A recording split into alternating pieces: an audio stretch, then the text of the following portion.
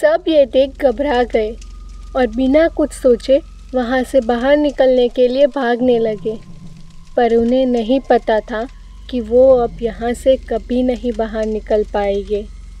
वो तीनों बाहर निकलने का रास्ता सोच ही रहे थे कि तभी उन्हें दरवाज़ा खुलने की आवाज़ आई। ये उसी रूम का दरवाज़ा खुला था, जिस रूम में सुभांश गया था।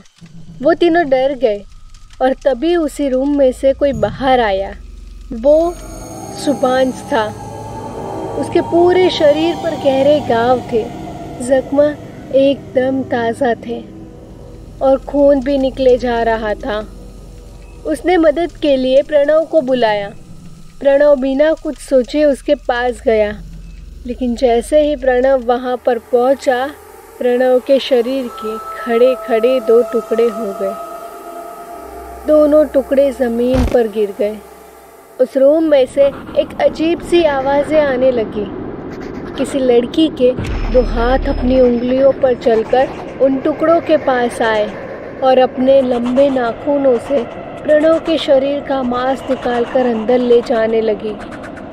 अब हेमा और अनीता ही बचे थे। अब उन दोनों के पास अपनी मौत का इंतज़ार करने के अलावा कोई रास्ता नहीं था। अनीता ने गुस्सा होकर ज़ोर से पूछा, कौन हो तुम? हमें क्यों मार रही हो? कोई जवाब न आने पर उसने गुस्सा होकर टेबल पर रखी हुई मूर्ति कमरे की तरफ़ फेंकी और तभी जोरों जोरों से हवाएँ चलने लगी और डरावनी आवाज़ें आने लगी। फिर वो मूर्ति इतने जोरों से वापस उसकी तरफ़ आई और हेमा की सर पर जा लगी। मूर्ति इतनी तेज़ी से फेंकी गई थी कि हेमा के सर के दो टुकड़े हो गए। ये देख अनीता के होश उड़ गए। अनीता खुद को बचाने के लिए भागने लगी। तीनों दोस्त उसके सामने खड़े हो गए। अनीता ये समझ चुकी थी कि ये तीनों अब उसके दोस्त नहीं रहे। उसने दौड़ते हुए एक कमरे में जाकर दरवाज़ा अंदर से बंद कर दिया। जब उसने रूम में मुड़ के देखा तो वहाँ पर कई साल पहले कोई काली विद्या की गई हो, ऐसा डरावना मंजर था। अनीता की नज़र वहाँ पर टेबल पर रखी हुई एक किताब पर पड़ी। उस पर काफ़ी धूल जम चुकी थी।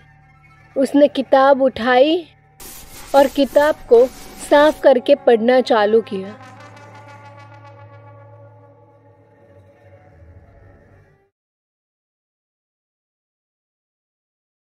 अगर आपको हमारी ये वीडियो पसंद आई है तो लाइक करें और हमारे चैनल को सब्सक्राइब करना न भूलें।